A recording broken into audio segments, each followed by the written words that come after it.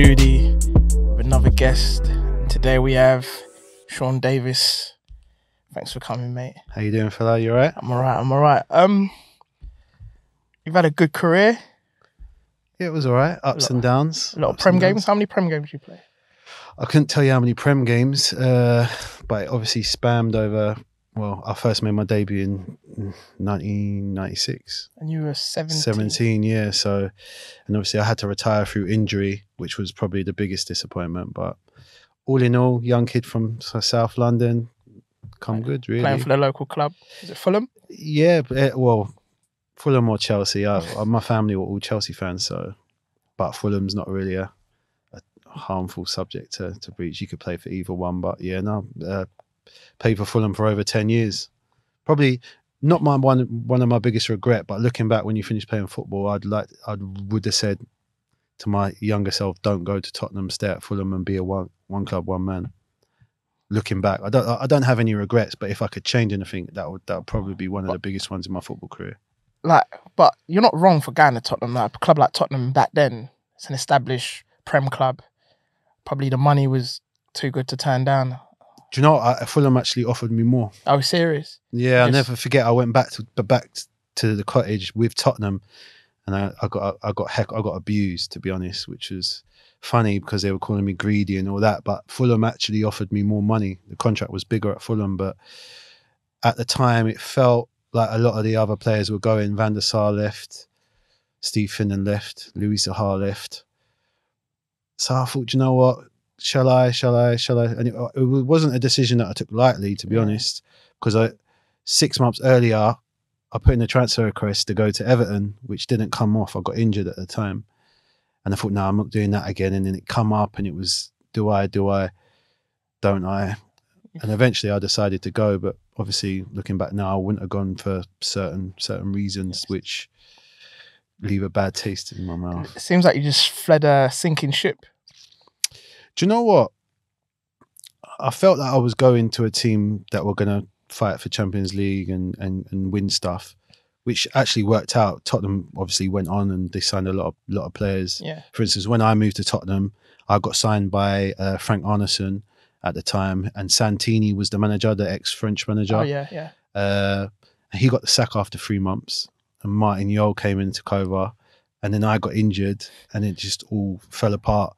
But the main reason I think it fell apart, I think at Tottenham is uh, my little girl was uh, premature, so she was Okay. premature in uh, Chelsea and Westminster Hospital, and I was injured at the time, and I had kind of uh, butting heads with the, the staff at you know Tottenham and the hierarchy because they said, "No, we want you to move up," and I'm saying, "Well, my situation's a bit different now. My little girl's 10 weeks premature. Yeah.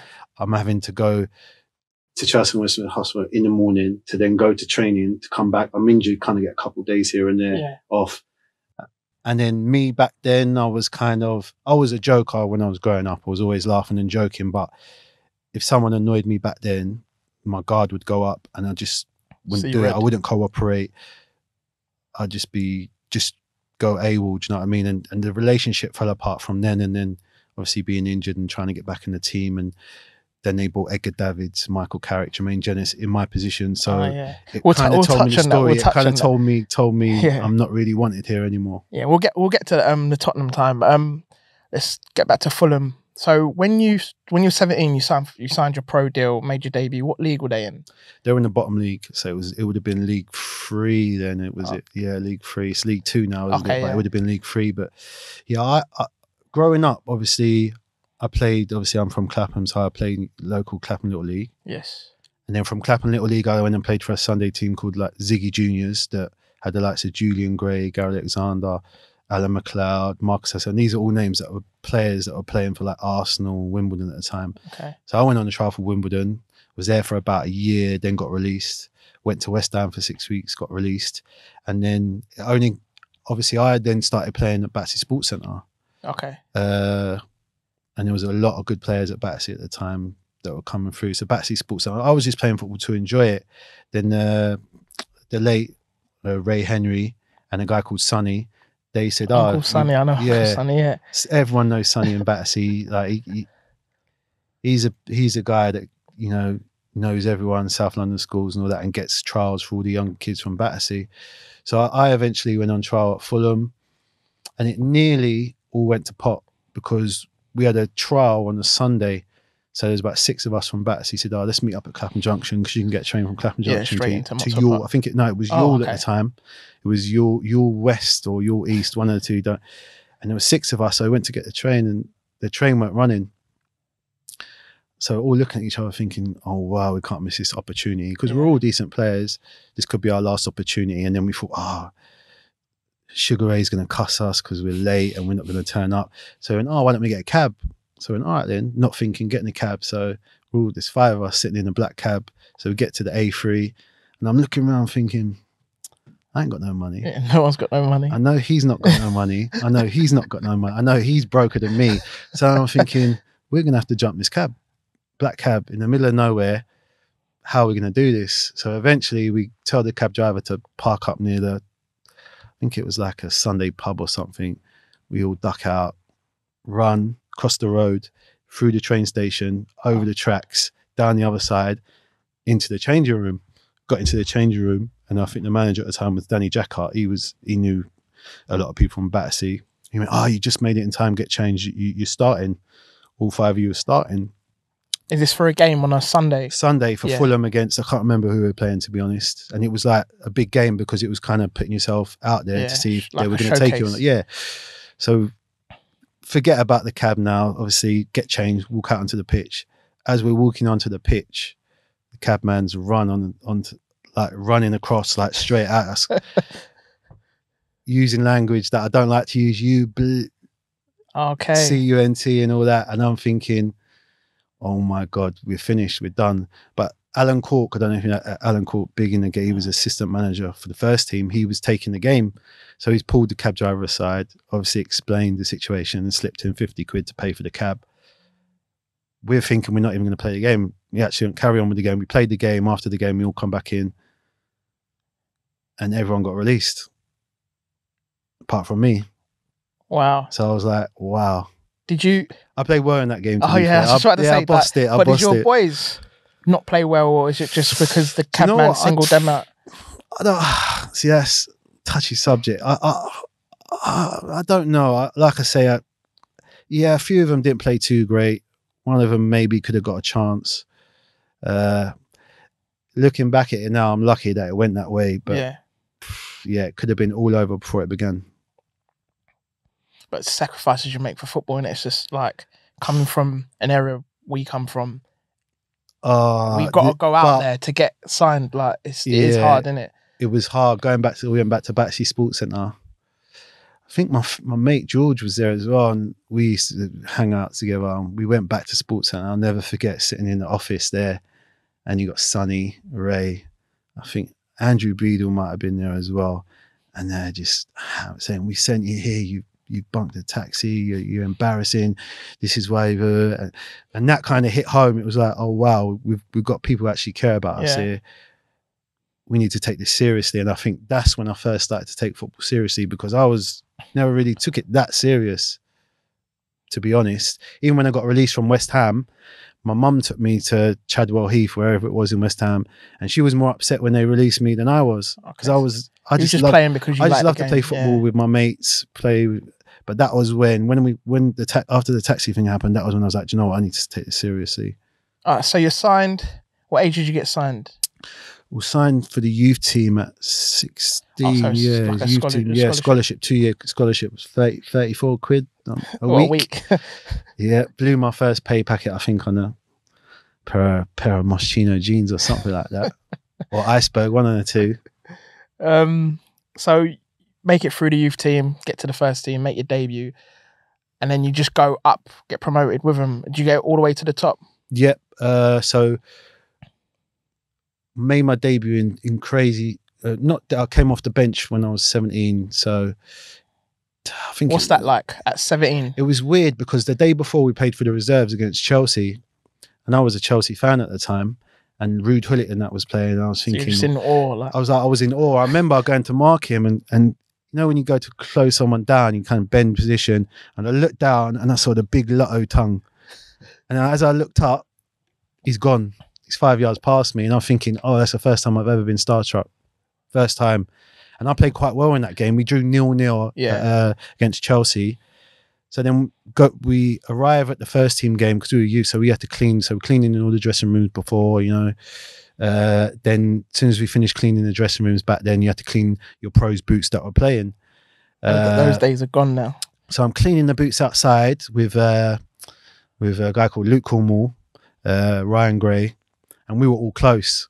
And to be fair, right, they were all from Battersea as well. Simon Fulham. Luke Cornwall was probably one of the best strikers at his age going round, but that's a different story. So I'm cleaning the boots now. Alan Cork comes out and goes, Sean, Sean.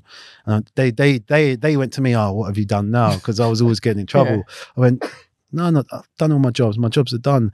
He goes, are you not with these Muppets anymore? Give them the boots, they can clean them. So I threw the boots at them, as you do, like threw the boots at them, went into the change room thinking, why am I coming to the change room? I'm sitting down like six, 17 year old kid. It's at Craven Cottage. Yeah, at Craven Cottage in a little change room. And then the, the manager names the team, then he names the bench, and I'm on the bench, and I'm thinking, oh, what's going on? Like, So, I didn't really this- understand it. At this point, have you trained with the first team, or was it just still? re- yeah, first team not much, not much, but it was more. But we used to train side by side, and if they ever needed a, Yeah. you know, we used to do training with the, the first team, and we used to run with the first team in pre-season. So you know all the pros, and it was quite back then. Football was everyone was close, everyone knew each other. Obviously, the senior pros used to take liberties with the younger pros Yeah. and that, but I knew all of them. But they were more, they were shocked, thinking, why, why is he on the bench? And then the manager turned around and went, "You're on the bench." Because Paul Brooker would normally be on the bench, and he was like a second year pro, and he went, he's on the bench because he worked his nuts off in the game against Chelsea, and you didn't try a leg. I'm j- I think it was to prove a point to him Okay. to give him a kick up the backside yeah. because he was a talented player. Paul Brooker for Fulham, a lot of Fulham fans would know him. He was a very talented player, but it was kind of to give him a kick up the arse. But obviously, I benef- benefited from it. Yeah. So, but that was the only then that was the only time I played. That was it.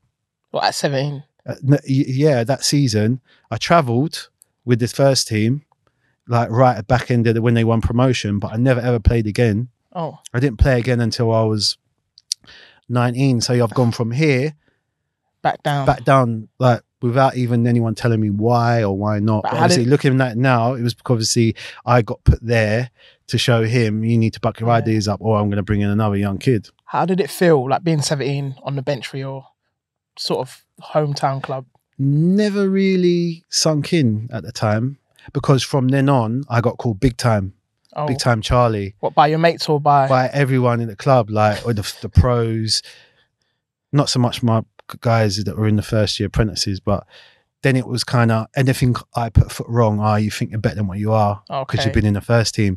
So it was kind of a big burden on me. I was thinking, actually, wish I didn't do it now Yeah. because you're calling me a big time Charlie, and the way I played didn't help back because my game changed. The progression of my game when I was younger, I was more skillful, nutmeg someone, like tricks, everything. But then as you get older, you work out to become a professional footballer. The manager, the manager needs to trust you. He needs to believe in you. You need to be able to take uh, uh, take what he wants and then do it on the pitch. So Yeah. that the skill and that kind of got brushed out of me, and I actually I need to do this to get in the team. And then I ended up becoming a holding midfielder who's winning tackles and then Giving it- giving it. Do you know what I mean? So yeah, that, that's how that kind of worked out. Right, so we jumped to your you're 19. You're now in what league? One, two. Yeah, League One or two. Yeah, I think Kevin Keegan, Kevin Keegan, and Ray Wilkins came in. You're in the first team now, established. Yeah. How's that now? Uh, Still getting the big time Charlie shouts, or no, not so much because I played. Uh, I played. Uh, not, not whole. I think I played about 19, 20 times in League One on 150 pound a week. So it wasn't. for the money? Yeah, it wasn't for the money. Like when I was growing up, it's different nowadays. Young players play football because they know there's money in it. When I played football, it wasn't for the money. You could Yeah. earn more money doing bad stuff on the road when I was growing up. And most of the powers that I used to go to school with, or some some of them that I grew up, they were all making much more money than me. And you're the only one playing football. And I was playing football. yeah. Do you know what I mean? So it was it was different back then. But I I'd rather do it how I did it because I played football because I loved the game, And I play, I still play football now at 41 years of age because I love the game. I still watch football. If football's on, I watch it. Yeah. So nowadays, the young kids get into it.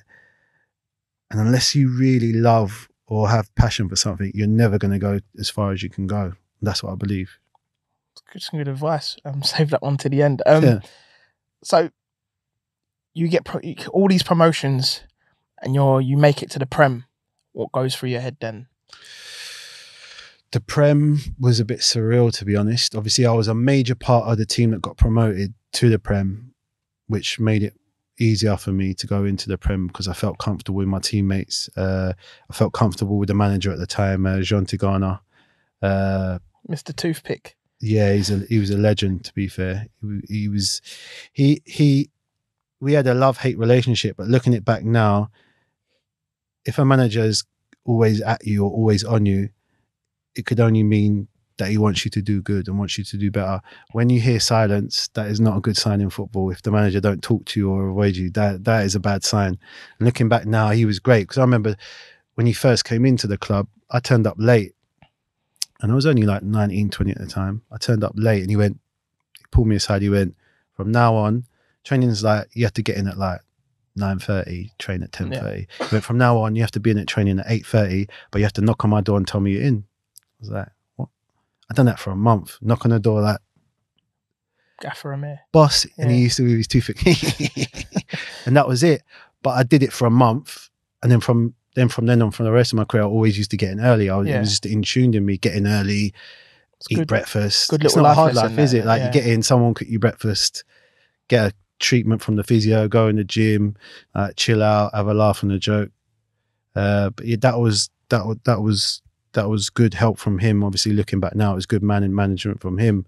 But then that made everything comfortable going in the Premier League with the same players. We only added a couple of players from the team that got promoted, and our first game was away at Man United How was and that? we should have we should we should have we should have won the game. I thought. I think Louis Saha destroyed Jaap Stam, absolutely destroyed him. We played well. I think we were one 0 up after five minutes. Uh, then they got a couple of goals. Then we got an equaliser through Saha again, and uh, I'm sure they scored a jammy goal. But we came away from that game losing, thinking, "Yeah, we can hold our own in this Yeah. league because we should have beat the, we should have beat Man United." who uh, Yeah, listen, I'm playing against and- yeah. Scholes, Keane, Van Nistelrooy, Cole, like Andy Cole. I'm thinking, like, I'm mates with Andy Cole now. It was unbelievable. My mate, when we was in, uh, used to go to Ernest Bevin I uh, secondary well. school, yeah. And my mate, I remember when he bought the Andy Cole Man United shirt, the yellow and green one, and he put Cole on the back. Yeah, And now I'm playing playing against, against him. him, yeah. Wow. But I know you said Ruud Gullit was the only time you were starstruck, but playing at Man United against these big names, Yeah. like Premier League champions, weren't you thinking like, oh my no, god, I'm here? no, I was, I was going. You know what? I'm here now. Let's let's enjoy it. And I was I was so confident because we had we had a good team. We we, like we destroyed the championship the year before. Yeah. I think you got 101 yeah, we something. yeah we destroyed. It could have been a lot more. If, you know, if we would have maybe tried to go for it. You know, the last couple of games when you've won the title, won a promotion. If maybe a few of us would have stayed in a few more few more nights instead of enjoying enjoying the uh the the title. But yeah, I was I was confident. I, do you know what I mean? I just wanted to. I've never been. I've been starstruck, but I've never been inferior of anyone playing football. Because at the end of the day, it's it's just football. The- Yeah. The, the, size five. It's a green pitch and it's got white goals, so that doesn't change. What, so, what does affect players who play in the Prem? Like, is it the atmosphere? Is it the occasion? Like, what? Like you just said, it's 11 humans against 11 humans, a size five ball, green pitch. So, what Yeah. are the differences? I think you get nervous. Don't get me wrong, you get nervous, but it's a. I think you, nerves are good, but I don't know. In my career, there's been some players that it, it was weird. You can have some players that get called training ground players. They're unbelievable in training. When it comes to the game, they kind of don't do anything. And there's some players that are terrible in training when it comes to a match. Like for instance, when I was at Tottenham, Ledley King never used to train. Go out on a Saturday, he's the best player on the pitch. But they painted that as if because he was injured. He, yeah, he was injured and he, he couldn't train, but he'd still go out on a Saturday And be, and be the best player on the pitch. Whereas I got a similar injury to Ledley, and the way I play, I had to train the way I played, so I could never train and get the fitness. That, that's just for later on when they talk about my injury, but it was just amazing how you could not train all week and then be the best player. Yeah. So certain players deal with certain things differently. For me, going into a game, I loved the crowd and all that. I loved the you know winning a tackle and the crowd Yeah. celebrating or scoring a goal is probably the best feeling you can get in football. I didn't get many, but I've got some Got important few, ones. yeah. Got some important ones. Um, England come knocking. Under 21s quite, made quite a few appearances for under 21s, and then the big boys. Yeah, Was you at Fulham when they come knocking? I was at Fulham. Yeah, I ha- hated it. Why? Hated that experience. Why? Oh, mate. So I get called up to the England squad, senior. So it's, it's a, it was the Australia game, uh, Upton Park. They lost it, but Who was the manager? uh, Eriksson was the manager. So they pick your car up. You go to I think it was a hotel in Canary Wharf. Get to Canary Wharf, but there was no real like, what's the word? Like it was all weird. Like no one really spoke. Team spirit weren't there. Yeah, and I'm looking around thinking, it's just me. It's my first England squad. No one really come up to me and said, "Oh, you know, Welcome. Oh yeah, yeah. So I'm thinking this is like weird situations, Canary Wharf. So I actually went home, stayed at home, and come back in the morning. I didn't stay in the hotel because you're rooming by yourself anyway. yeah.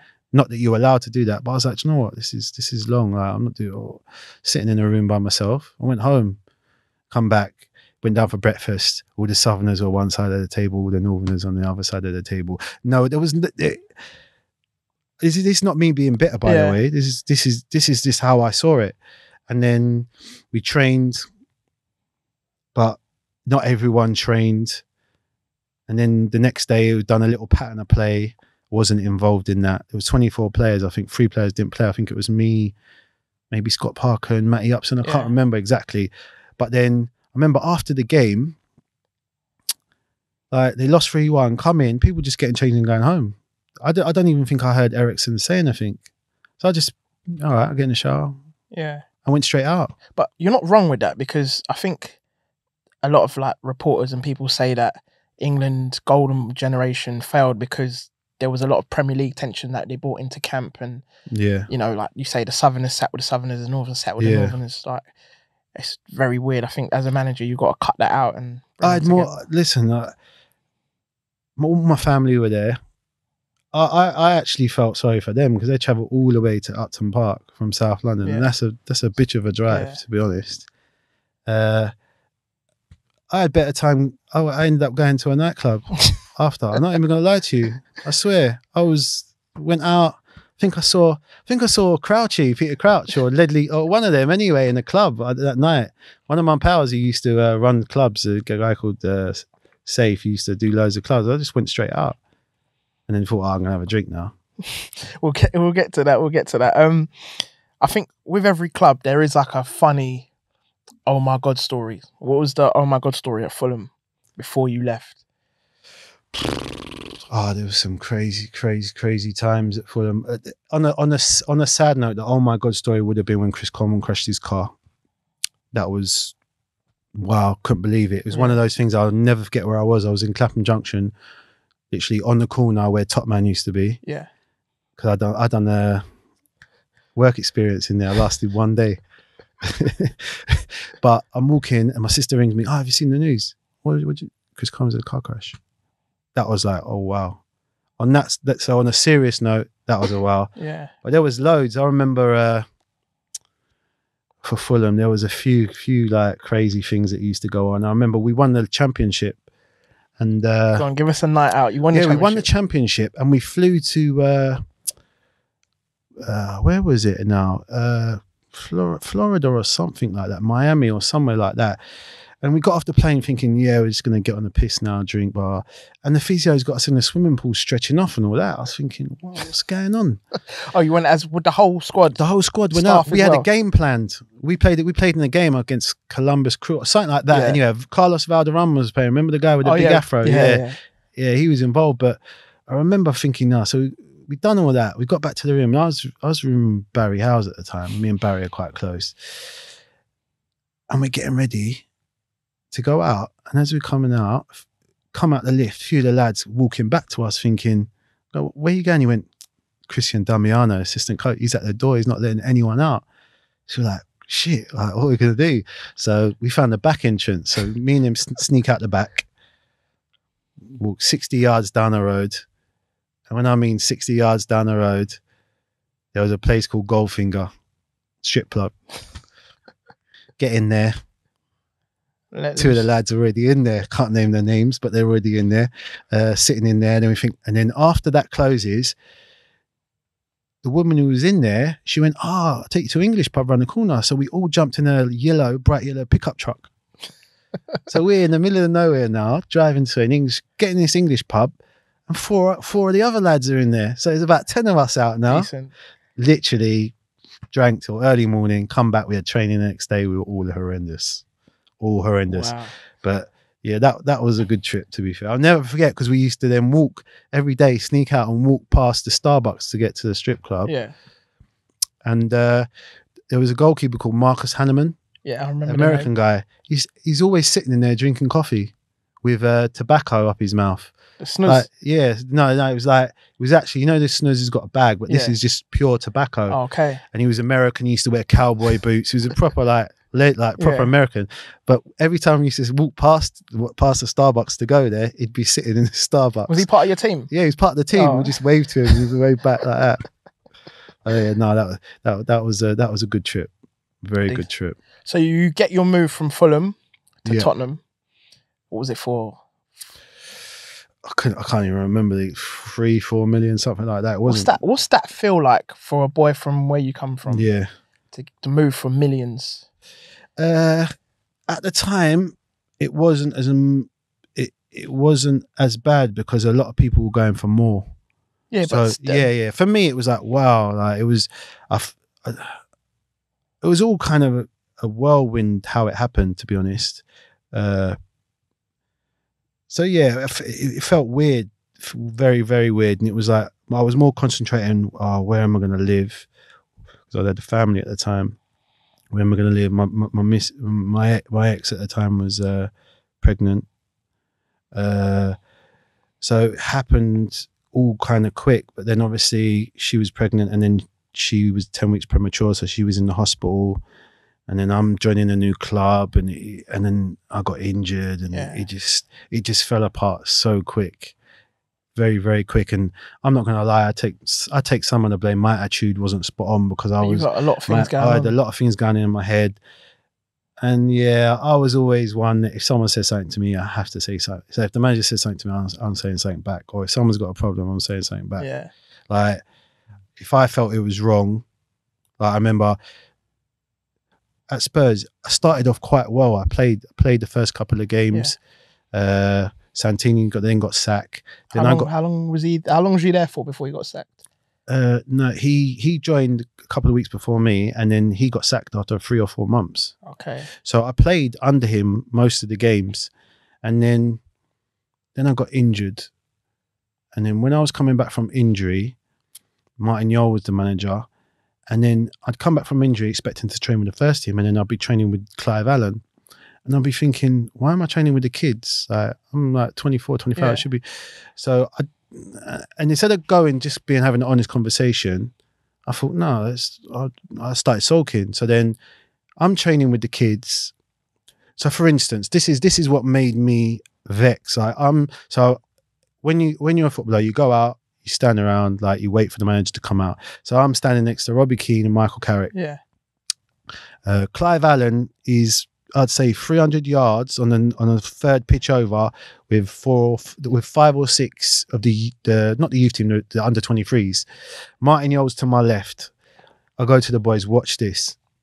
Martin Jol walks past me, walks 300 yards that way, walks back, walk past me again, and goes, "Come on, we're going, lads." And as I'm going to go in, Clive Allen whistles over, "Sean, you're training with me."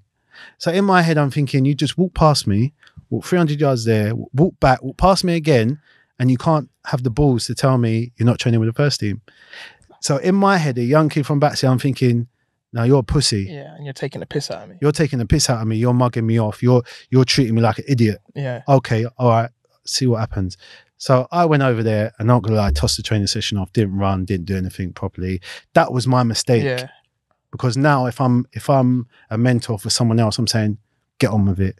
Go change a model pro. that, yeah, that was my mistake. And then I'd end up doing things that I'm, like we were doing crossing and shooting with Clive Allen with no goalkeepers. And I'm looking, thinking, what am I doing here? I just, I was a first team player at Fulham. I'm coming to Tottenham, and you, you haven't even told me if you can, if you, if you were to turn around to me and say, I don't rate you, you're not in my plans. Try and find it. Oh, the hell, my hands up. Yeah, but he, he didn't say a word. Wouldn't, wouldn't I wouldn't have said a word. And then from then on, it went downhill because I remember we played Grimsby in the cup. So the, the reserve team are playing, you know, in the Carling Cup. Yeah, I was on the bench. It was my birthday as well. I'm on the bench, nil nil at the time. Come on after 70 minutes. yeah. I'm near post at a corner. Corner comes in. I head it clear outside the box. The guy volleys it back into the top corner. We lose 1 0. Come back in, blame me for the header. What, Thinking, saying it wasn't good enough. yeah, yeah, yeah. I'm thinking, all right, then it's my birthday as well. I'm on the bench for the for the bomb squad. You're blaming me for the goal, so I get get back to. It was obviously Grimsby away. It's late at night. Get back to the hotel. Stayed at the the Regents Regents Hotel or something. Literally two minutes from the training ground. Yeah, Because I said I can't. There's no point driving home to a training in the morning. So I get, I get to the. Uh, Oh, you booked your own hotel. I booked a hotel, yeah. Uh, booked the hotel. So I get in, I get to the bar. It's my birthday. I went, Do you know what? I'm going to have a drink. Nothing, man. I'm going to have a Smirnoff Ice. And if you know what Smirnoff Ice is, it's not even a drink, is it? It's like lemonade. I'll go in and I'll have a fag as well. So I'm sitting at the bar with a Model pro Smirnoff are. Ice and a gold Benson and Hedges, thinking, I'm just gonna and talking to the barman. All of a sudden, I'm facing the bar, so he goes, "Put it away, put it away." I went, "What do you mean? What do you?" Damien Comolli walks in. He's, the director of actor, yeah. football. I go, "Fuck that." I said, "Fuck that! I'm not putting it away." So he comes, stand, go, "What are you doing? What are you doing?" I went, "Listen, don't don't start." We have a conversation. He went, "No, no, what are you doing?" I went, "Listen, it's my birthday." Uh, he storms off, goes up to the room. Next day, going to training, he pulls me in the room with Martin Jol. To be fair, I explained the situation. Martin Jol didn't like confrontation anyway. Yeah. Martin Jol used to see me, Turn and as we were walking, get on his phone. or head down. Yeah, one of those ones. yeah. So I knew he wasn't going to come at me. I knew, but it, the writing was on the wall from then. The right, it was yeah. So Spurs, yeah, it was fin- finished. But how how did it feel when the players that play in your position? You mentioned them earlier, the J- uh, Jermaine Yeah. Edgar David. They're coming in and playing in your position, and they're like David's big name, Jenas, young lad coming through. You you just in limbo. Like, how are you feeling when this is all happening? And they've paid for you as well. yeah, it's it's basically it's embarrassing. It's embarrassing. It's like how can I explain it? It's like ah, is he think like these guys must think I'm dead, like rubbish. Yeah, So it's a bit embarrassing, but at the same time, I got on with most of the lads. So all the lads are like, but then I didn't help myself. Like I was like a live wire. I was too young and stupid to didn't have anyone telling me, oh, just get on with it. Like just concentrate. Like stay because I was half injured, half not injured, you know what I mean? And then I, I looking back now, I would have definitely concentrated more on myself, you know, and tell the other stupid boy to say, Don't do stupid things. Yeah, like behave yourself. Like I, I don't get me wrong. It's a fif- for me looking at it now if i would have done that then it wouldn't have probably been a problem. And i might have got back in the team. Because i was betting some of the players there i think. Yeah. i mean michael brown played played for spurs while he was there and I, I, in my opinion i'm a better player than him. Uh, don't get me wrong Michael Carrick's probably the most underrated player in in Premiership history because he was unbelievable. So Yeah. I had no qualms with that. But Edgar Edgar wasn't Edgar Davids wasn't the Edgar Davids of before. Yeah, Jermaine Jenas is a good player as well. But listen, if, if you're gonna I felt I could have played, but I didn't give myself the chance to play. yeah. So eventually I had to move to uh to Portsmouth. But Pedro Mendes was there, he was there as well, couldn't get in the team. So I'm thinking he can't get in the team as well. And Pedro Mendes was a baller. Yeah. Um, while you're still at Tottenham, like you first you mentioned your, your injury. Are you actually injured, or are you one of them players that like managers not feeling young to toss it off and pretend I'm injured and stuff like that? 10, 10 operations on my knee, mate. I only, I, I, ne- I, well, I never pulled a hamstring because I wasn't quick enough. Never really pulled a muscle.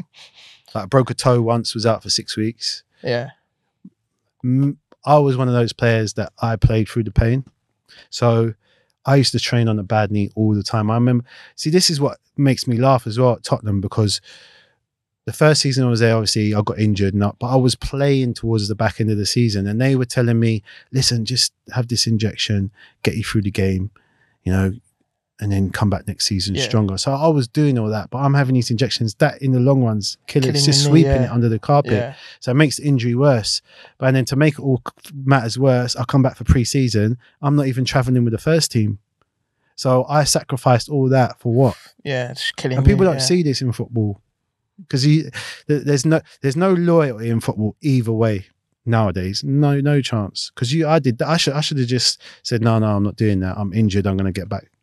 But I wanted to play football. Yeah. I'll play I'll play injured because the, the adrenaline gets you through it. I guess But then after the game you're like oh wow I can't Yeah. move my knee. I guess also you're trying to prove a point to the manager, like get me back in the team. Like I'm actually good enough, so I'll play injured and show and show you that. Da, da, da. But then you're just killing Yeah, yourself. hundred percent. And then I ended up making things worse for myself in regards to my knee. Yeah. And I was plagued by my knee the whole time. The whole three and a half years I was at Portsmouth, my knee was killing me.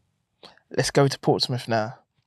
Actually, sorry. Let's go back to Tottenham. Like I like I said before, there's always a story, like a funny story, and you've got a good Yeah. changing room at at Spurs. There was a great bunch of lads, but the, the problem is with that. See, I still lived in Wimbledon at the time, so I was driving two hours to get to training and two hours back Wow. each day.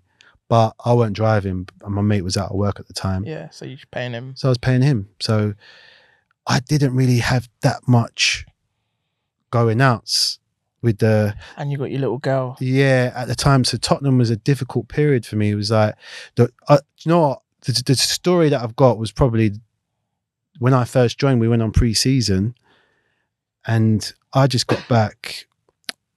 Uh, in the holidays, I was in Ayia Napa, and I went Ayia Napa five, six years in a row. So like Yeah. that's our that's I first new Robbie Keane because I used to see him out in Ayia Napa, and Yeah, literally it was a foot, footballer's paradise back there. Like wherever you went in Ayia Napa, it was a be, yeah, it was all footballers. So I knew some of the players from there. So they all knew me as ah, Sean's having a lot. Like, when I'm having out, I'm having a drink. I'm, I'm like, having a fag yeah, well. yeah. Well, not so much the fags, but yeah, I, I, I told the truth. So I had to tell the whole story. I did have a fact in it.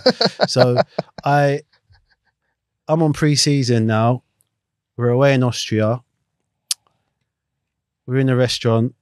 Someone gives me a red wine, and I neck it in one, thinking, yeah. Sick, eh? and everyone's like, Absolute sick. everyone's laughing, but it was kind of me trying to get to know everyone. Yeah. Ah, yeah, Sean's all right. blah, Yeah. So it was a bit of nerves. Don't get me wrong. So I bang it. Next one comes, bang. Listen, after about six, I can't remember hardly Six anything. straight shots? Yeah, yeah, six, six, six glasses of red wine. My teeth were red. Everything. Everyone was laughing. All I can remember is walking back to the hotel, thinking, I don't know where I am. I think one of the young lads come out and went, quick, quick. Mark Yeates, it was at the time. He was a baller. He was one of the young lads. He saw me and he thought, oh my God, you're a mess. Took me to my room. And I woke up the next day. Oh my God, I had the worst. You know, one of those hangovers thinking, I can't train today. Can't train. I'm, I'm in. So I went to the doctor, but I knew the doctor from like Fulham days. So I went, oh, my knees hurting me. My knees hurting me. But she knew, she knew, Yeah, she knew. she knew what But that I meant. couldn't train. I couldn't train. And then when I saw the lads at lunch, they were like, "Oh my god!" They said I tried to walk and sit into a, in a police car. They said I was just dancing on tables and chairs, and I can't remember. I just must have just blacked out. Must have just blacked out. Is this your first season at Spurs? First pre-season, first yeah. pre-season. So three, four weeks into my career at Tottenham. And just showing yourself up. To be fair, I don't think any of the coaching staff found out. So that's one Fair blessing. Yeah, that's Fair one play. blessing. But yeah, that was a mess. I, to be fair, I don't even drink red wine after that. What? What did it? I, That- I wouldn't. That I or wouldn't. Stella. I don't drink Stella. After wife watching Marvin Elliott's performance against Man United Mill in the cup final, he reduced me to Stella. Sorry, Marv. Sorry, Marv. um, what are initiations like? Uh, do you know what? I can't remember there being too. I remember when I went on loan to Bristol City, they used to have to sing a song and that, but the initiations there wasn't really a, initiations back then. Well, your initiations necking six yeah, once. but that was just me out and just trying to make myself feel comfortable. That that was just me doing that, but. yeah. initiations. No, I think the game's changed now. Anyway, isn't it? It's like back then there was no social media. The team used to win, lose, or draw together. We always used to go out together, whether it be restaurant, club, bar, Yeah. whatever. Nowadays, players can't do that. It's, they're so much stricter, which is probably a good thing for them because longevity. Because I do believe that Media kill him. go, going out and drinking only has a bad effect on your career any Yeah. at some point. So it's, it's they're they're blessed in that. But initiations, no, there wasn't when I was. It wasn't. So they probably did the initiation because they don't have any fun.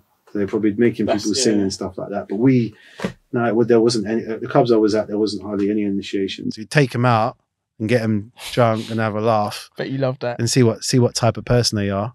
But yeah, it's most most of the clubs I was at, they didn't really have those. Fair enough. Um, Portsmouth come. You think you believe that's like a saving grace? How did that move come about? Uh, it was a there was three of us involved in the move, so it was it was me, Pedro Mendes, and Noé Pamarot, a French lad that was at Tottenham at the time as well. It nearly fell through because I don't think Noé was going to sign for some reason. Oh, so you all had to sign together for it yeah, it was a free free way deal uh, for nine million or something for three of us or something like that. Obviously, Harry had just taken over at Portsmouth.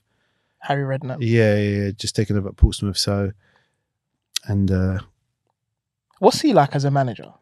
if you're playing and you're playing well, he's great. If you're not playing, don't really say much to you. So it's one of those. Like Harry's Harry, is it? Like he, he, if you're playing and you're doing well, he'll make you feel a million dollars. But if you're not playing well, then he won't really speak to you. To be honest, he's like I remember going in the first two or three weeks. I I done all right. Then I had a couple of bad games, and then I probably didn't speak to him for another four or five months. It's one of those ones. Do you know what I mean? But I went there injured, but I got through it. I played well. But for me, I just never thought Harry really rated me. I don't think he rated me as a player because whenever there was a big game, he would drop me. And for me, that tells me you, you're not Yeah, really, not you're not, you're not, you don't trust me. You're not rating me. But I played okay. I remember my best season at Portsmouth lasted from the start of the season, which is August, to to Christmas. I played. Um, I was I was one of the best players. I was playing well. Team were flying. Then he signed Diarra, Diarra from Arsenal, Yeah. and I didn't get in the team. Do you feel at training your is the competition's great? Like there's no difference between you and him, or is it just because his Nah, name listen, he was a baller. He was a player. I couldn't go and knock on his door and say put me in? put me in instead of him because Yeah. he, he came there and he was our best player. But my angle was, well, you're playing him and then you're playing Papa Diop and Sulley Muntari. They ain't playing great at the time. Get me in. It was like, so it was on the bench all the time, coming off. And yeah, it was a frustrating period. It was probably one of the lows, obviously, getting to the cup final and then not even being on the bench. Let's talk That about was a that. low. yeah, that was a big low. Let's talk about that cup final. So you're a part of the team that wins the FA Cup, but you're not in the team. Yeah. There's stories going around that you weren't exactly sober. Oh, I was a wreck. A wreck. I, me- I remember getting in the dressing room and him naming the team. I knew I wasn't going to be in the team. And he named the bench. And I thought, I'm not even on the bench here. And in my head, I'm thinking, this is the cup final. Like, at least tell me the night before you're not going to play me. Yeah. But it is what it is. All right. I'm pissed now. What am I going to do? Went straight to the bar At Wembley at Wembley. Bad influence, dragged a few of the young lads there in your suit. In my suit. I remember doing the caterpillar after the game on the pitch. Actually, I was drunk, uh, just ordering everything, everything, everything. But in my head, I'm thinking, uh, I've just got eight tickets. I've paid for eight tickets for all my family to come and watch the game. and you're not you're not even in I'm not even on the bench. I'm thinking, this is long. Like, I was just embarrassed. It was embarrassing. So I thought, what I'm going to do? Embarrassed, bang, I'm going to have a drink. It sounds like I'm an alcoholic. Well, I could have been, but I was good. we'll get it. to that we'll get to that But no, so I, yeah, I just took a few of the young lads, and then with and then a few of the other senior players thinking, ah, this is bad, man, because if they win, we knew they were going to win. They were playing. I can't remember if it Cardiff or West Brom. Semi final. I can't remember who they were playing. That's how how bad it it was. Cardiff and Car- you won one 0 Yeah, Kanu scored. I remember that. But listen, I was thinking in my head, I need to get drunk because when they win, I need to be able to celebrate because I'm not gonna. I want them to win. Yeah. I'm not one of those players. I'm not playing. Oh, they're, they're my boys. Like, Yeah. I, I used to love the team spirit at Portsmouth. I lo- loved the lads. They were great. So how can I get as happy as them? So I might have tipped a few people outside of the football world that you should put some money on it and win some money for yourself, Yeah. if you know what I mean. so that could have kind of worked in my favor. And obviously, the rest is history. We won the game, celebrating on the pitch, steaming on the bench. Must have smelt like vodka or whatever it was we were drinking. But no, I was pleased to be honest because Portsmouth as a whole, as a city and as a football club, brilliant. they're fans. I kind of likened it to Fulham as it was a family club, it was a community club.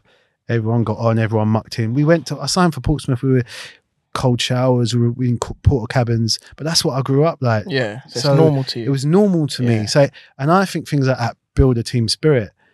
And when I first went there, we were bottom of the league, and we our, our team spirit managed to keep us up. And then obviously with the players that he signed, Some big names as well. that he always signs, Yeah. you know, Kranjcar, Defoe, Crouch. But we had there were good lads, uh, Glenn Johnson, uh, Sol Campbell, Sil- Sylvain Distin, Hermann Hreidarsson, David Uh, James. David James, yeah, uh, Papa Diop, uh, Sulley Muntari, Kranjcar, Nugent, Utaka, uh, Crouchy, Defoe. That was a team. That was a good very, team. Very good team. Yeah. Do you know what I mean? And we, I played in Europe with Portsmouth, so We'll get yeah. So Europa League, Europa League, UEFA Cup back then.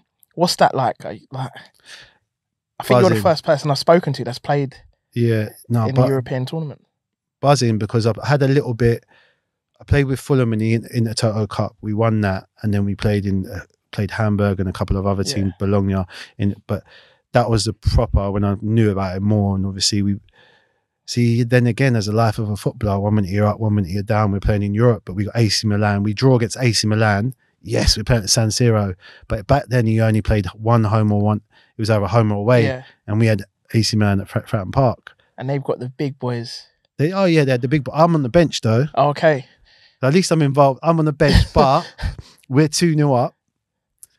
I come on and we draw 2 all. I'm thinking, no, this ain't right. Nah. Even though nothing was my fault, I actually nutmegged Clarence Seedorf. That's that's one of my claims to fame. When, I, when I'm sitting in my local take bar that. You'll take that. with my other football mates, obviously I can name them Jamie Lawrence, Barry Howes. I not I nutmeg I nutmeg Clarence Seedorf. No look as well. See you later. Banged it 60 yards. But then obviously they scored, Inzaghi scored, and then Ronaldinho scored free kick in the top corner. Sorry about that. I know, and, and David James blamed the wall as well. He's banged the, Slapped it top point. it, was- the ball was moving all over, all over the place. One minute the- it's Battersea Park Road, then it's on the M25, top corner, bang. David James blamed the wall. I'm thinking, nah. Sorry, mate. Nah, it's not having that. But that's how he was a perfectionist, though, David James. Perfectionist. Uh, one of the best. See, I would put him as the best goalkeeper I played with, even though I, I played with Van der Sar. the critics will though. I, I just, he was such a professional. Like, don't get me wrong, JMO's, yeah, like, you could have a conversation with JMO about anything. Like, I get on with JMO so well. We used to play cards at the back of the bus. I never used to drink coffee before I met JMO, and then he's having like 10 coffees before a game, and I'm drinking coffee as well. Do you know what I mean? Snus as well. Got me, well, no, Hermann Hreidarsson got me on the snus, but no, J- JMO was a, was a good goalkeeper, top goalkeeper. Just gonna go back to um your drunken moment at the FA Cup. Yeah. I heard your medal was stolen and you didn't even care. Yeah, my medal got stolen out of the hotel room. You ever get it back? Nope, nope, never got it. But I didn't play, so it don't count, does it? You can't, you can't. If you win, I like people say, yeah, you. I, I was at Portsmouth when we won the FA Cup. Did I win the FA Cup? No, I didn't. Yeah. I didn't play in the final. I wasn't even on the bench. If I was on the bench and didn't get on, I still might say I, I didn't win it. If I get on for that one minute, yes, I, got, I got on the pitch. I But- contributed. I didn't contribute. You done the caterpillar, so I done the caterpillar. I still got the suit though. Maybe I can auction that off. maybe, maybe I, am I, pretty sure do you there'll know what? It's a still. Portsmouth A, I've fans. got the Portsmouth FA Cup final suit. So if anyone wants to make me an offer, times are hard. Kids need new shoes and all that. um Portsmouth. Did you get relegated with them? No, I was I, I left the season. They got relegated. And then where did you go? I joined Bolton. Similar scenario to Tottenham. So I had four clubs in two of them were similar. Portsmouth, Fulham, family club, played well, got on, Yeah. good team spirit. Tottenham got injured, in and out, bad attitude. Not so much bad attitude at Bolton. Bolton was more of a life lesson for me. I joined Bolton under Gary Megson. Yeah. Uh, in pre-season, done a couple of runs in the park. Done my knee. Didn't tell no one. Knee swollen. I'm not going to tell no one. I've just signed. I can't can't have an operation and miss. Didn't tell no one. Playing training. My knee's the same size as Barry Football. House's head. It's massive. my knees are balloon. Had to put injections in my knee. Drain drain. If you ever known it, they drain the fluid out, and it's like a it's like an oil change. They ta drain all the fluid out and then put new fluid out just to. That's what I used to do. yeah. Like, so I'll get through the first three or four games. I can't move, by the way. I turn in like a one three seven bus. I'm awful. Like I, I play okay, but I'm so in my head. I'm thinking I can do so much more. Yeah. It's like when you get older, you know what you want to do with it, but you physically Yeah. can't do it. That's how I was. And then my last game for Bolton, we played Liverpool at home with two one up. I get two yellow. Lucas runs in front of me. I get a second yellow card. I didn't even touch him. Goes down. I get sent off. After that, I say, "Do you know what? I've got sent off. I need to fix my knee. Yeah. And then it just went downhill. Downhill from there. Didn't play again. Didn't play again for uh, for Botford. I've mo- basically moved up to Manchester because it's near Bolton. Yeah. What's that like though? So you've moved. Have you, you've- you moved your whole family? moved my whole family up. So my my stepdaughter, she moved. God bless her. She went to the local school around the corner. My little girl just started in primary school. She moved. Uh, my partner. Uh, and it was a lot to ask from them as well because we're moving up north. It's a lot different to South London. Like my my missus was mixed race, so it's a bigger ask Yeah. because you don't know. Like you hear so many Yeah. stories of, you know, is is there is it going to be a community that we can get involved with? Is there going to be other ethnic like Yeah. urban families then don't know. So it's a big ask from her. So she committed to it. And to be honest, it just went downhill because I basically felt like I moved up there to stay in the house because I was injured all the time. Like it was horrible. It was like it's the most lonely, boring, monotonous thing to, to be injured for. I was uh, first injury. I was on crutches for twelve weeks. Then, I, soon as I tried to come back, it went again. And it's it's just demoralizing. You're in the gym. You're not talking to the lad. You're getting in earlier than everyone else. You're leaving later. Best friend's the physio. Yeah, and I didn't get on with the physio because I thought he wasn't doing me justice. Which later on I believe is the truth because I ended up having to leave football to go to UK Athletics for them to take a look at my knee and give me the right things to do to to be able to get out and train, just to train. Wow. So, and that's weird because you look at football and you think how much money's in football, Yeah. and you go to UK Athletics and then- they just light years. They were light years ahead of the the physios in football, light years. And it was it was frightening because that's why I say it was a life lesson because I learned to know my body, what to, to put in. Because obviously you run it as a footballer, you can eat so much pasta. Um, what I need to eat, what I need to do to get fit, what I need to uh, go in the gym to do to be able to give myself the best chance to be able to train.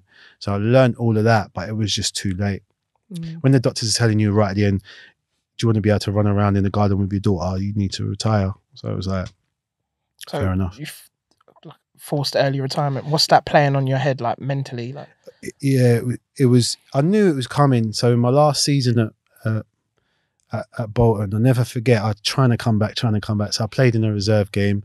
I was terrible. I'm not gonna lie, I was awful. Just couldn't move, couldn't get close to all these young lads running around. And I remember sitting in the canteen with Nigel Reo-Coker and Zat Knight, just just a bit down and deflated. And the chairman comes up to me, Gartside, guard side at the time, and he goes, "Oh, you were terrible." And in my head, I'm thinking, ten years ago, my God, I would have just lost my I would have thrown my plate of food in his face 10 years ago. I just kind of just sat there and just took it. Did you know? I knew, and I, and then and then the other side of it was, well, to be fair, you're the chairman. You paid my wages for all this time, and I, but then I could say, well, if you had better physios, I might have been fit. So I didn't want to go into that Yeah, debate, yeah. but so many things go through my mind, and and then to be when he left, they both looked at me and went, "Can't believe you just said that." And in my head, I'm thinking, I can't believe I didn't say nothing back to him Yeah. And it, that's how that's how it went at, at Bolton. It was it was uh, it was embarrassing because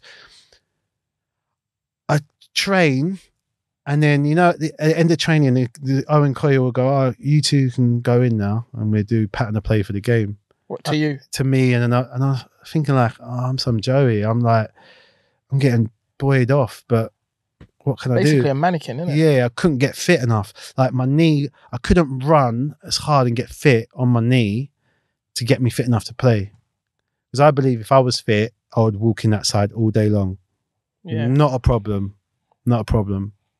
But that was the demoralizing. It's embarrassing, and you you're training with the under 23s, and you can't you can't even train with the first team. It's, it's similar to Spurs again, but Yeah. I'm a lot older.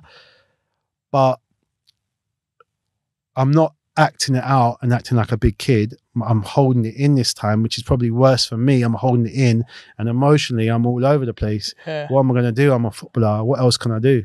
I can't even play football properly, and I'm I a can't even do that. Now, now these young kids are thinking, right, this player's rubbish. He's dead. But as a footballer, the, the biggest thing you want to do is get recognition of the players you're playing with. Yeah. That's a big feeling. So for them, for you to not even train with them, and then young kids coming and then they're going away on holiday, on tour, and you're not even going, you're staying behind.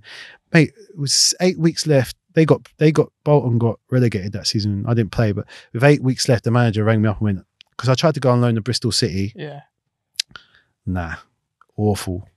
But I come back and he goes, Oh, you might as well just take the rest of the time off. Normally people were like, Yeah, you got eight weeks off, but I felt embarrassed by it. Like, all right then. And that was my football career done. In a nutshell, done. Wow. It's not the way I wanted to go out, but it is what it is. Like I said, I'm still playing now for a vets team, so that gets me How's out. and now? Playing wise, if I don't, if I play once every four or five weeks, I'm all right. I'm all right. Vets team, it's like hot and cold. You can either get a good vets team where it pops, or it's walking football. Yeah, no, we we our vets team are good. We got a lot of ex pros playing, and we only go into two cup competitions: the Surrey Cup and the National Cup. So, and I got the opportunity to play for for the England vets last year Okay. uh, in Thailand. We got to the final and lost to Iran in the final one 0 but that was an experience that that you know that was good. Obviously, it got cancelled because of COVID this year, but hopefully it'll be on next year, and I can try and get sure myself it? fit. Mate, I love it. I, lo- I, I'm more. I miss the banter and the, the team spirit. I, Yeah. I miss that. Obviously, you miss playing, but I don't miss all the traveling and stuff like that. But I'll travel to Thailand to play in the World Cup. That's not a problem. Um. So what are you up to now? Uh, well, when I finished playing, I've done a little bit of this, little bit of that. So I've done a bit of coaching for Fulham under eights. Not for me. Done a bit of radio. My mates would say I got a face for radio, but uh, don't Oh, do why that is that? Pretty work. because. I'm ugly. They called me ugly. Yeah. Uh, so I then my my pal owns a football agency. So basically, I've known him since mm, not knee high, but secondary school.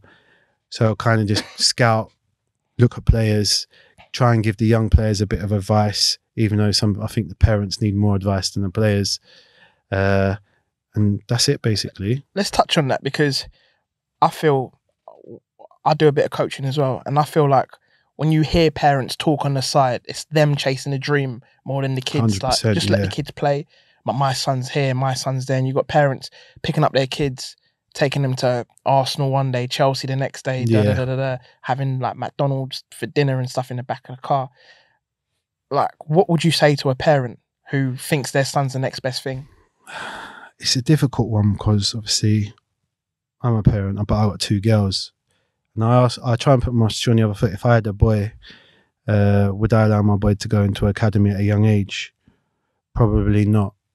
I want my son to have fun and enjoy it.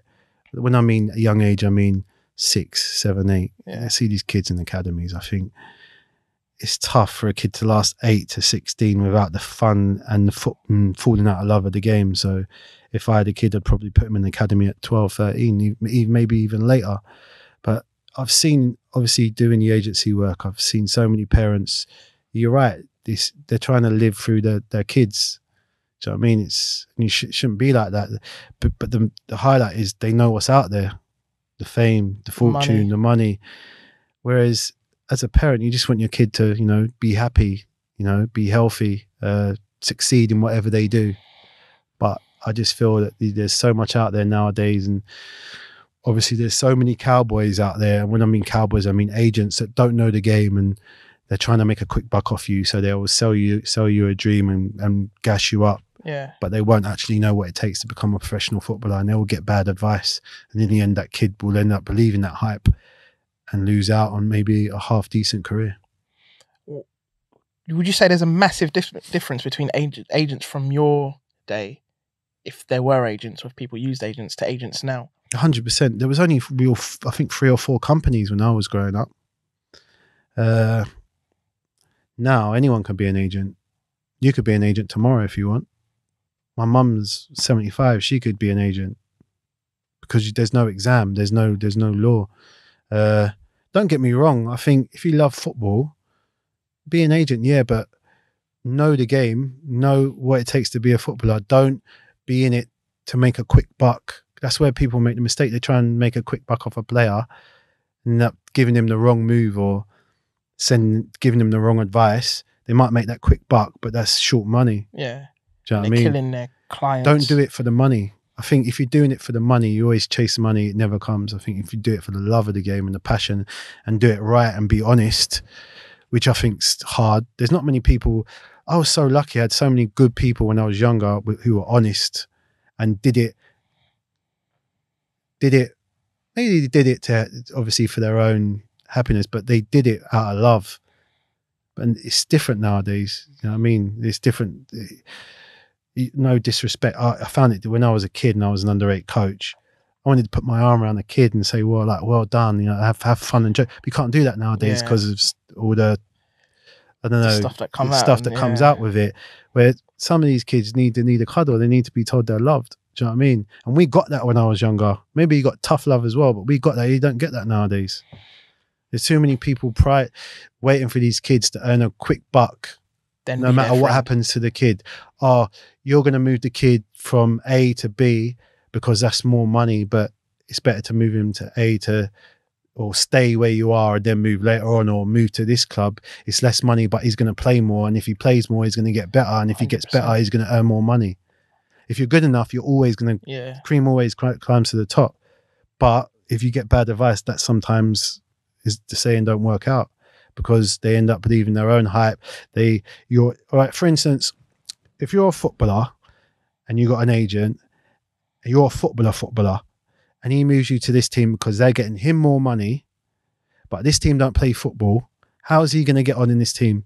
So he's a centre midfielder. He's going short. Every time he goes short, they're banging it long. But that's how the manager plays. That's how the team plays.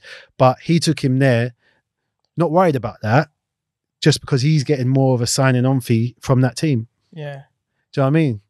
That's for me. That's But don't players have a say in this? players have a say, but it all depends about the influence around them. All depends what kind of background they're coming from. Yeah. Uh, don't get me wrong, I'm a southerner, but I tend to find that the northerners are a bit more clued up than the southerners. Be, in in because they're just all about hard work and you know make yeah, sure it's just part of their DNA, you'd say. and don't I don't blame it. You get so many of these young single mums out there who there isn't really a big father figure around their child. So if someone's coming and saying this and that and dangling hundreds of thousands of pounds around, I don't blame them for taking it. It's Yeah. hard, it's difficult, but I just it just gripes on me. It just gripes on me that they're so vulnerable, vulnerable to this because I've had vulnerable people on me during my career. Not so much agents, but financially. So I know what it's like, and it, leaves a bad taste in my mouth. And what, what? So what? They would come like? Is it like people you know, not your exact friends, but people you know, come up to you and asking you for money and stuff like that? No, not so much than that, because I've still got the same kind of friends that I grew up with. There's only one or two that I don't talk to anymore. Okay. But the way I look at it, when I fall out with someone, I just say we just have a difference of opinion. I never slight them. I, there's only one real friend that I really, really miss, and I'd love to get back to know him. Fair enough. We fell out, but we fell out because of a third party. Okay. And but I'm talking about the financial advisors that prey on young kids. So it happened to me. I, I'm I was a young kid and I joined a, joined a, an agency, but everyone in the agency was a certain certain uh, financial group. I can't name it because it's Yeah. still in the courts today. It's quite fresh. So I'm a young kid. I see top player, top player, top player, top player, all older than me with this thing. Okay, I'm from a background. No, my mum, my mum, my mum and dad never had no money. My dad was a butcher. My mum was a dinner lady. My dad Yeah. never owned his own. My dad got offered his own house to buy for 25 grand, couldn't afford it. Rented all his life. Never had a house until I bought my mum and dad a house. So I never had that background of people with money. So in my head, I'm thinking, nah, these are shrewd top guys, top players. I'm going to go with this. So I went with this firm. Not until I finished playing playing football, I'm thinking, where's all my money gone? Like, I got my portfolio here. So I took my portfolio to someone else. That was like, he went, no, this ain't right. I was like, what? He went, this ain't right. Boom, boom, boom. boom. He, he said six or seven things to me. And he said seven or eight players that are in the same position, but no one, as men, we don't talk, do we? So no one's telling, uh, I, if, if I'm randomly not going to tell you that, oh, I'm having problems with Yeah. this. I'm, so you're both having the same problem. And it's basically that, yeah, this is a lie. This is a lie. The money that you saved, it's not there no more. And now you owe this Wow. person HMRC money. And that's how it worked out. That's why, that's why, that's why I said to you, I'd love to give these kids an opportunity to not learn from my mistakes. I'm not in it for the money. Yeah. I'm not going to go to a kid and think pound signs because I know money don't make you happy anyway. Money's not happiness. So it might be being rich can be lonely because all your friends that you grew up with, don't have unless money. don't have no money, so you can't roll with them. Well, you can if they're true friends. You know what I mean? You Yeah. can roll, but it's different. It- There's a there's change there. That's why I said. That's why I said these kids need to learn because I've been there. I've done it. I've I've had I've had HMRC turn up my house with brown letters. Me thinking I'm saving. I was never extravagant when I played. Never got on private jets. Never never like gambled it all away. Never really uh, done expensive tables uptown. Don't get me wrong, I used to do it, but back in the day it was four or five hundred quid. That's nothing to what like they, they were doing back in the day. Buy expensive watches, expensive cars. Yeah. I had a mini, the mini, a blue mini when I was at Bolton. Do Is that I mean? is that is that because of finances or just because you're just humble? Just cars are a waste of money. Like I said to you, I grew up a lot when I was at Bolton. When you're injured and you've got so much time to think, Yeah. you see what's around you, who's bad around you, who's good around you, why are they around you, uh, why are you wasting your money on this, why are you wasting your money on that.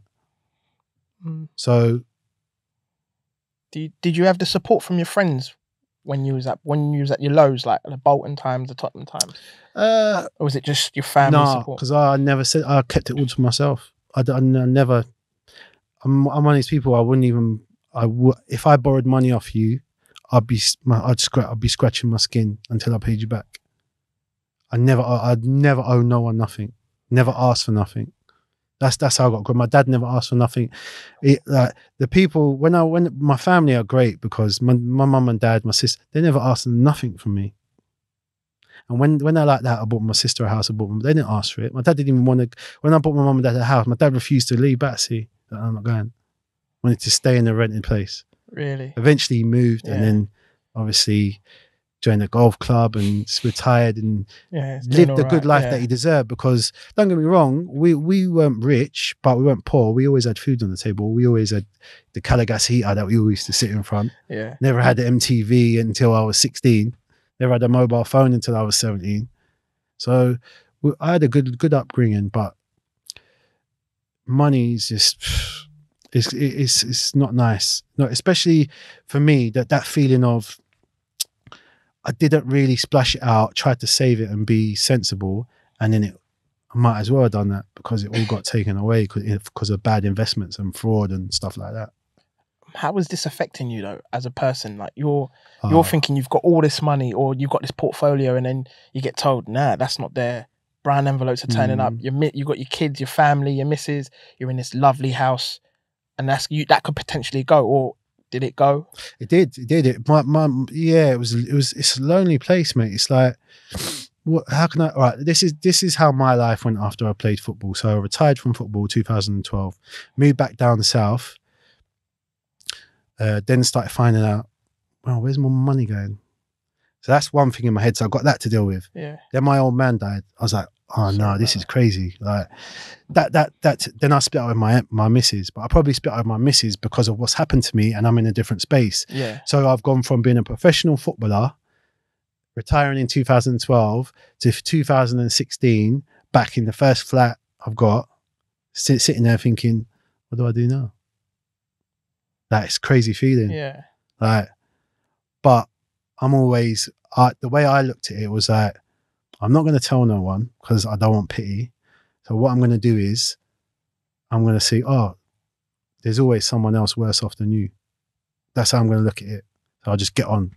Thank and thankfully, my mate who has the agency Yeah. helped me out. He helped me out. You don't know he helped me out, but he did by giving me a job and giving me a bit of you know Keep- freedom. It keeps you sane as well because you could have been sitting in that sitting in that flat and just got on the bottle. Oh, this as a footballer, all my life I've been told what to do, where to be, what to eat, how to dress. Remember, I come for breakfast eight thirty, Yeah. games trainings at ten thirty, go in the gym at this time, eat this, eat that, report to this, report to Where this very very where that, regiment. It's like the army, but not as obviously. I'm not comparing footballers to the army Yeah. because that's a joke, but it's very regiment like that. So then to come out of that, to go, hold on a minute, what do I do now? No one's telling me what to do. It sounds you look you might people might look at me and think, oh, this guy's dumb. Like why is he? But it's true. You miss that. You miss that structure.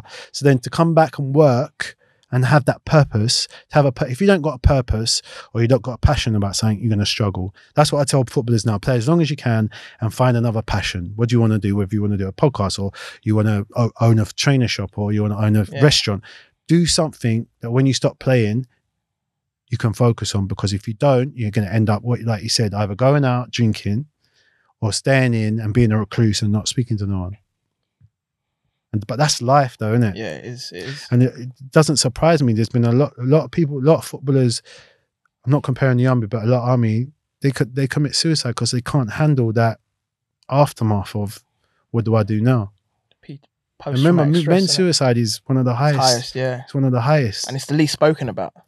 Exactly. And I see I'm I'm old school whereas when they say "Oh, I need to talk about it, you do need to talk about it because if you don't, you either Bottle it up and then you bottle it up and then you on. either I'm not con- confrontation. I don't I've never but I reckon if I bottled it, bottled it, bottled it up, one day someone's gonna get it. Mm, In like if it comes out or or you cry or or you have an argument with someone. So it's it's not healthy at all. mm. Boy, it, you're saying all the right things. It's it's mad that no one knows it. All of this stuff, like like you say, men don't speak. Mm. but you do need to speak. And thank you for opening up. Um, just to liven up the mood, let's uh, let's have some funny stories. Footballers, lo- when you was at your heights, you probably earned more money than you probably ever thought you'd ever see. Yeah, 100%. How did you enjoy yourself? Like holidays, gambling. You you must have touched Vegas. I went to Vegas, uh, but not until the back end. Like I said, I, I, all my younger days were either Ayia Napa. So, uh, growing up, obviously, I grew up in Battersea, so obviously Battersea, so Solid Crew. Yeah. So I was big, big into garage. Yeah, Obviously, growing up, Battersea Sports Centre, Sugar Ray,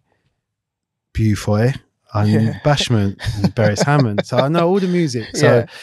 I either go to uh, Ayia Napa, and then when you're older, then you end up going to Marbella. yeah, Then you obviously I've been to Caribbean, Barbados. I love. You know, I've never been to Jamaica. I was supposed to be going, but obviously with the COVID, Locked it was off. supposed to be my mate's fiftieth, and we were supposed to go there. But but yeah, Ayia Napa was good. I know, I remember going to Ayia Napa one year, and we had pre-season training at nine in the morning, and I was in Ayia Napa, and I got back into Gatwick at five thirty six, and I'm steaming on the train. So on the plane, drinking vodka Red Bull. Thought, Let me drink Red Bull because it's going to give me energy. It's going to give me me, give you wings vodka because I need a taste. get back to training. I never thought walking through the door and I saw Barry Hayles that night, Elvis Hammond, they're all laughing at me. I was thinking, oh, mate. He went, Do you know what we got? We're doing today. I went, What are we doing? He went, The bleep test. Shut you're a up. footballer, you know what the bleep test. I Yes. was like, Oh, no. But uh, who won it? I You. won it. Yeah, Red, finish the shout tape. out Red Bull. Finish the tape. but I was fit back then. Do you know what I mean? Yeah. Those are the things. Those are silly things I used to do. And in my head now, I think, why did I do that? I live my life. Don't get me wrong. Why did I do that? Oh, is that the reason why I got a bad knee? Is alcohol's not good for you? Is it? yeah. yeah. So I always, but I did enjoy myself. I'm not gonna lie. I ne- Vegas, I never really done Vegas. I've been to Vegas once, so I don't. I don't mind the casino. To be fair, when we was at Portsmouth, we used to go to the casino. We all used to play blackjack, so that was good. Like literally on a Tuesday, we'd have Wednesday off. Yeah. All Everyone fly down down, go to the casino, get the table, high fiving each other around the table and that. But the best story at Portsmouth is the one where it's a Tuesday and someone come up with the idea of everyone get fancy dress. And it was all right, we'll all wear fancy dress out. And then it went from, no, don't tell no one what you're wearing, put it in a black bag. So, okay, so we left the training ground in Portsmouth and we drove to a pub in Oxshott, Yeah. uh, off the A3. yeah. There's a pub, yeah, just off the nice, random little pub in the middle of nowhere. So you got 10 or 12 Premiership footballers from Portsmouth in this pub in normal tracksuits with black bags. So we say, oh, how are we going to do this? All right, we play cards. So we play 21. Yeah. Whoever loses has to go in the toilet, with a random get black bag. changed into their fancy dress, come back out and sit down while we're drinking, by the way.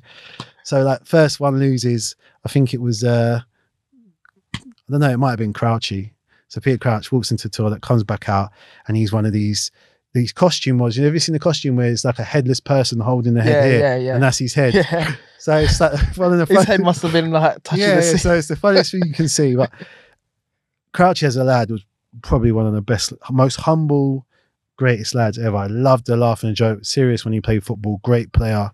But just imagine him sitting there in the middle of a pub. Then someone else, Glenn Johnson, might go in, or then I go in. I'd come in, I'd come out as Catwoman. They're all laughing their heads off. Jermaine Pennant's there, comes in, comes out as a gingerbread man. So you got yeah. all these professional players thinking nowadays that wouldn't happen, would it? Nah. social media will go snap, snap, snap. It was like if we were doing bad at the time, it'd be oh look, they don't care about the bar. But it was just young lads having a laugh. You got a day off the next day, having a drink, enjoying yourselves. How can you enjoy yourself?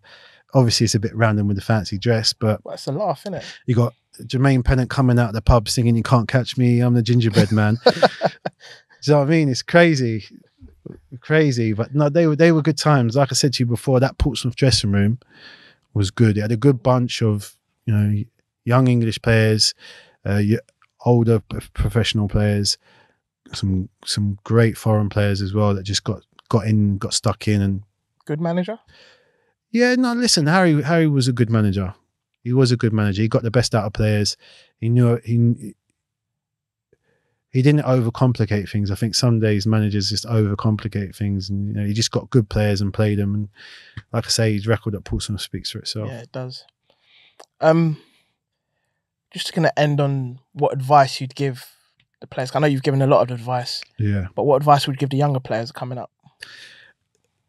simple, really. I think in football's uh, uh, is a roller coaster of emotion. So if you can get grounded, as in if you play if you play well, don't get too high, and if you play bad, don't get too too down. So you can get get that middle ground. And day to day, you, like I say to the players, all you can concentrate on is what you can do. Not oh, this team we're playing rubbish. Why is the manager playing here? Why am I doing this? All you can do is go into training and work on you. Yeah. You can't control. Don't you can't control anything else.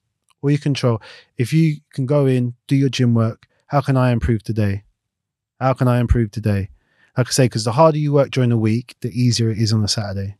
So it's about that that mental that talent is ten percent in football. The rest the rest of it is up here because you could play one game one week and score a hat trick. Next week you get sent off, or you get you go you make a mistake and then you're the bad man. For instance, Dele Alli, he's was the best thing since sliced bread. Now he can't even get in the Tottenham team. I'm not. I don't know what's going on there, but that's how I'm just showing you how football can change. One minute it can be here, one minute it can be there, but all you can control is yourself. So if you can control your your head and your day to day stuff, that's all you can do. And that it's simple, but it's effective because if you start thinking you're too good or you start getting down, you're not going to perform. Mm. That comes from having the right people around you as well, because you don't want the ego boosters. And Exactly. And I think these young people and these young agents sometimes and these mums and dads, you're overthinking it. You you if the manager plays him there, you play there. If the manager tells you to pick that up, you pick that up. No, none of this ego rubbish. If the manager tells you to because at the end of the day, if the manager don't trust you and you don't believe in you, you're not going to play. You know how good you are. You're not going to play. No way in a million years. If he doesn't trust you to go away on a Tuesday night to Burnley or to Mansfield or to Rochester on a Tuesday night when it's freezing cold up north, he doesn't trust you, you're not going to play. yeah, Can you take instructions? Can you take what he wants on board? It's not talents, 10%. Because growing up, I was one, I wasn't even the best player growing up. In my Sunday, in my Sunday team, I had Julian Gray, Gary Alexander. They were better than me. In school, I had Byron Glasgow. He was 10 times better than me. At Sports Centre, I had five, six players that were better than me. A guy called Shamak, Luke Cornwall. They were all better than me. Why did I make it? I got a bit lucky, but I knew when to get my head down. I knew when to work hard. Don't get me wrong, I might took my foot off the pedal once once I achieved a certain amount, I might have took my foot off the pedal, but I was able to get that. I think I earned the right. Maybe it was the wrong thing, but I earned the right. Do you know what I mean? yeah. But I wasn't the best. Nowhere, nowhere, nowhere near it. Thank you. My pleasure. Thank My you. pleasure.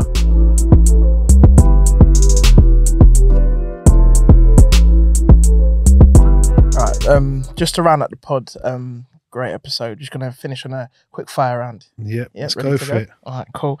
Um, best player you've played with. Played with, uh, I would say Louis Saha, Best manager. uh, Jean Tigana. Best stadium you've played in. Oh wow. Uh, uh, home, I'd always loved playing at the cottage, but away, uh, I did love Celtics ground. was a good stadium, good atmosphere. Um, worst manager. Worst manager for me was probably Owen Coyle. Player most player you thought was most likely to be a manager. Uh, Lee Clark. Uh, changing room clown. Normally it was me, uh, but there's been a few clowns. Uh, yeah, I've probably been the biggest clown at most, if I'm honest. Mark Wilson was a bit of a clown at Portsmouth. Uh, Crouchy was a joker. Yeah, Crouchy was a big joker. Not a clown though. Best atmosphere. Best atmosphere was in the stadium or in the dressing room.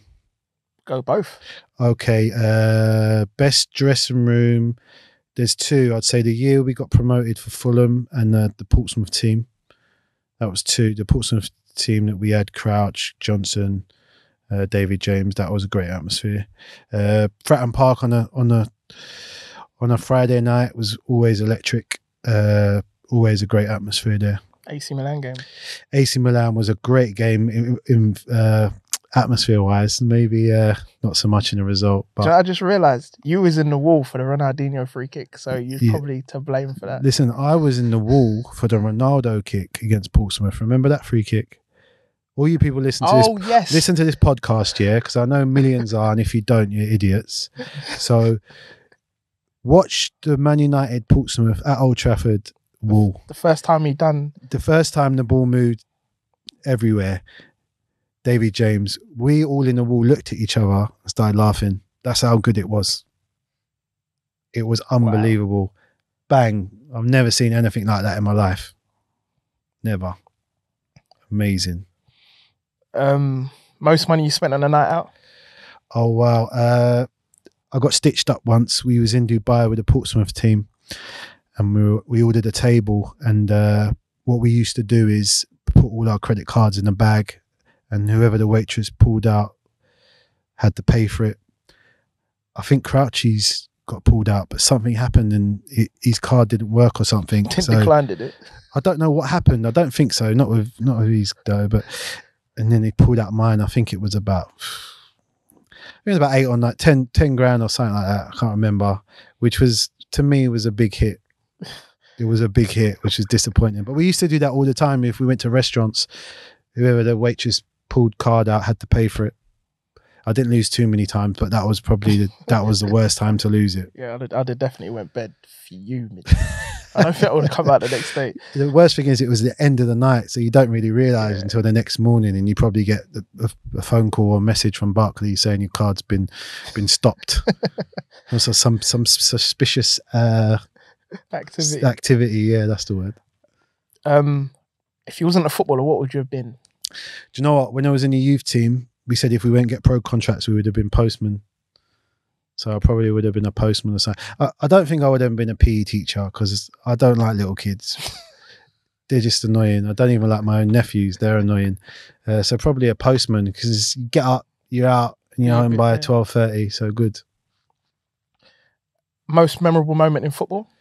Uh, probably pers- on a personal note, scoring scoring a winning goal for Fulham against Blackburn that kind of sealed us promotion, and then the following week scored the goal that won us the title. So that was probably proudest proudest moments in football as an individual, and then same as Fulham. Looking back in when you fin- when you finish playing, you look back and what did you actually achieve? What did you actually contribute? And I was part of the, the Fulham team that got them back into the Premiership after so many years. So that's a proud moment in uh, proud moment in my career. Probably proudest moment of all is probably it's not football related, but football allowed me to to buy my mum and dad a house. So that's probably the biggest thing I've ever achieved. That's decent. And biggest regret? Biggest regret. Ah, I hate saying this, but it probably be leaving Fulham for Tottenham.